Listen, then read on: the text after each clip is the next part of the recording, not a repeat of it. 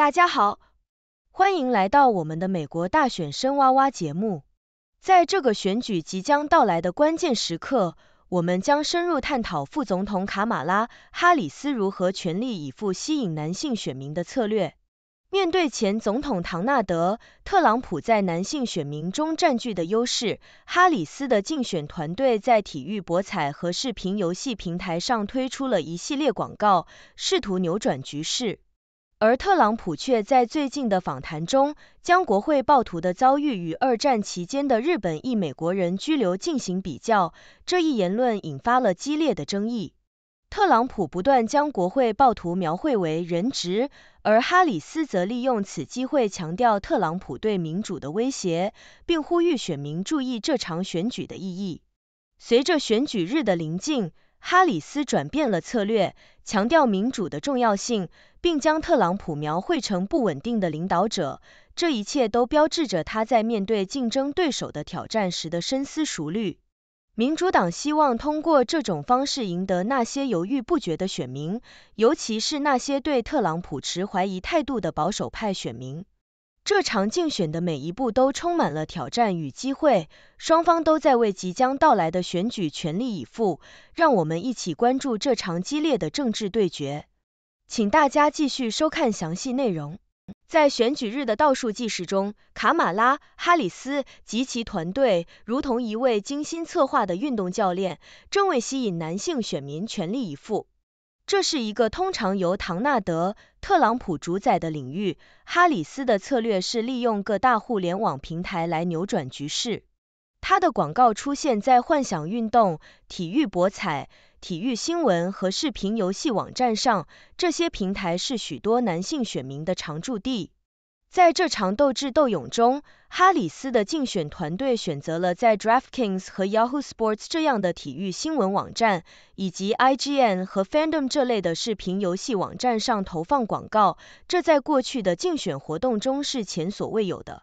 哈里斯的竞选广告中，前职业篮球明星魔术强森以他的运动风格或灵活现地分析两位候选人的经济政策。他用比喻的方式将哈里斯的政策描绘成一场减税盛宴，并强调哈里斯支持商业和创业者。而对于特朗普，他则毫不留情地指出其在商业上的失败。另一则广告中，演员本。斯蒂勒则将选举比作他那部奥斯卡被忽视的电影《躲避球》中的一场比赛。他幽默地将选举比作一场躲避球赛，然后立刻转为严肃，指出选举的重要性和危险性，警告选民不要让特朗普再次接近白宫。然而，哈里斯并不止步于此，他的团队还扩展到 TikTok 和 Twitch。这些年轻人聚集的平台，希望能吸引更多年轻男性选民的支持。这些策略显示出哈里斯对于吸引男性选民的重视，并希望在即将到来的选举中能够逆转局势。在另一边，特朗普毫不示弱，他在福克斯新闻上的言论升级，警告选举日可能的混乱，并强调使用国民警卫队甚至军队来处理激进的左派疯子。这些言辞在煽动其基本盘的同时，也给那些对政治现状焦虑不安的选民带来了恐惧。过去，特朗普将因二零二一年一月六日袭击美国国会而被囚禁的人与二战期间在美国境内被拘留的日本裔人士进行比较，再次引发争议。这样的比较不仅淡化了支持者袭击国会的事件，还在历史上产生了不当的连结。这种说法引来日本裔美国人社区的强烈反对，认为这是在侮辱历史上的受害者。面对这样的挑战，哈里斯及其竞选团队重新唤起了有关特朗普对美国民主威胁的论述。这一策略试图激发那些对特朗普持怀疑态度但尚未决定的选民，尤其是那些曾经在2022年中期选举中被民主党成功激发的选民。当时，民主党通过强调一月六日的叛乱以及对联邦堕胎保护的撤销，在面对红色浪潮的前景下逆势而上。在这场竞选中，哈里斯的声音越发响亮。他将特朗普描绘成一位不稳定的领导者，而自己则是稳定的选择。这一描绘可能在某些对两位候选人都持保留态度的选民中产生共鸣。共和党方面对此则不屑一顾，认为这是哈里斯的老掉牙策略。然而，对于民主党来说，这样的战术仍被看作是有利的武器。随着选举日的临近，双方都在加紧努力，期望在日益激烈的竞选壕沟战中寻找可以决定胜负的一丝机会。虽然哈里斯的竞选活动不会放弃机会经济等其他主张，但他正在将民主问题作为众多工具之一，试图在十一月的选举中成功翻盘。这一策略是否能够成功，将取决于他是否能够在短时间内有效地向选民传达他的观点，并让选民在面对日益紧张的政治局势时，做出对他有利的选择。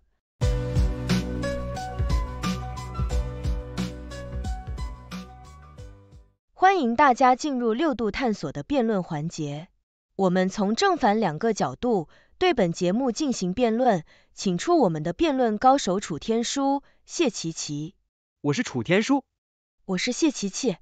哈哈，这真是一个让人捧腹的策略。哈里斯在幻想运动和视频游戏平台上投放广告，期望能从对体育和娱乐着迷的男性选民中捞点票数。这就像是在说，嘿，哥们，别忘了在下注和打游戏的空档间隙给我投一票哦。也许他下一步还会在酒吧的啤酒杯垫上印上他的竞选口号呢，这简直是现代政治的滑稽剧。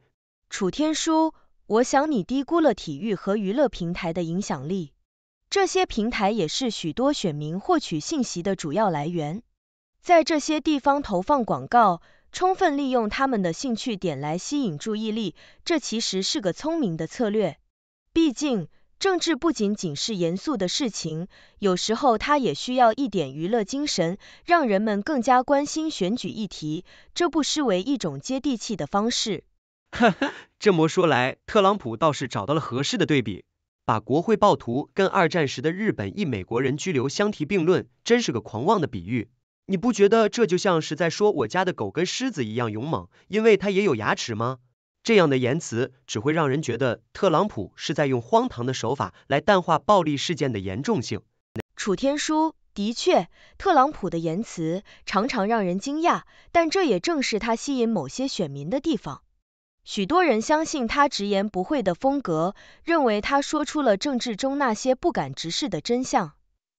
虽然这种比较不合适，但特朗普的支持者可能会认为这是一种对政府过度惩罚的批评。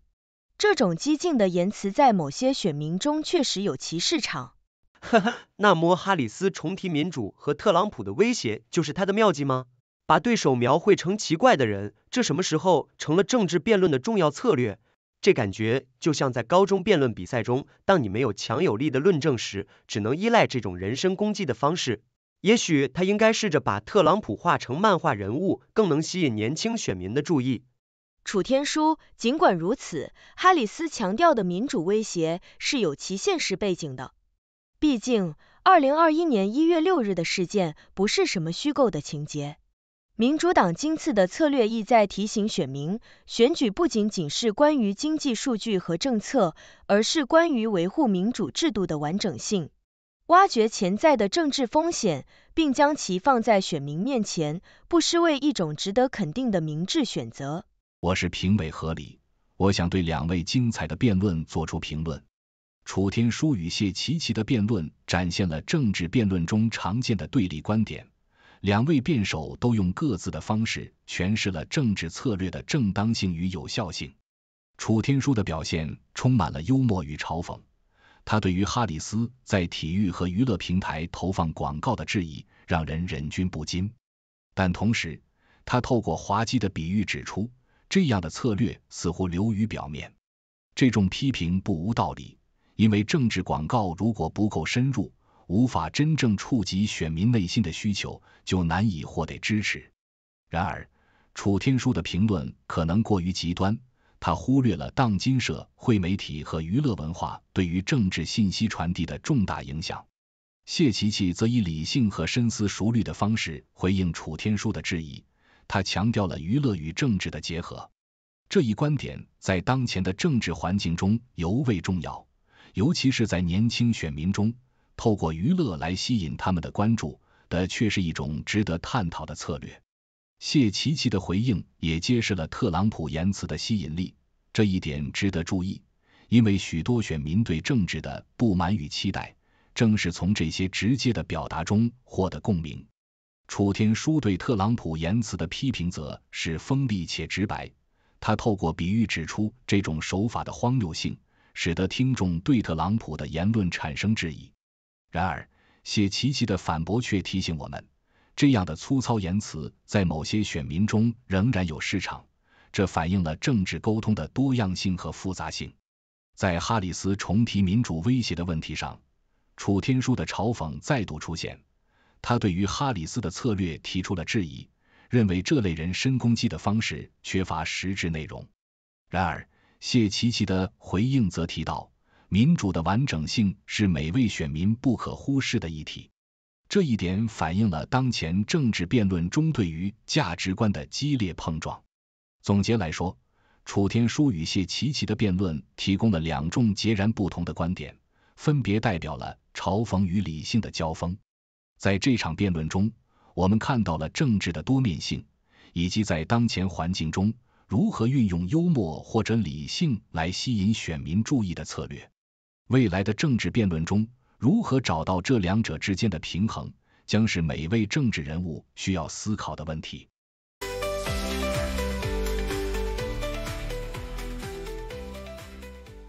六度解析：今日华尔街特别节目，全世界顶尖的媒体，全世界顶尖的智库，对时局的及时报道与分析，独一无二。六度解析，随时奉献。谢谢大家收看六度探索。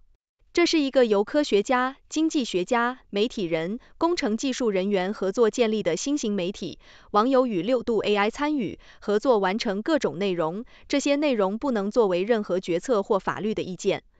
这是一个新型的试验性媒体方式，我们希望得到大家的支持，修正错误。网友可以参与讨论，也可以向万能的六博士提出你能想出的任何问题。六度世界网址是六度 World。请介绍给你的亲朋好友。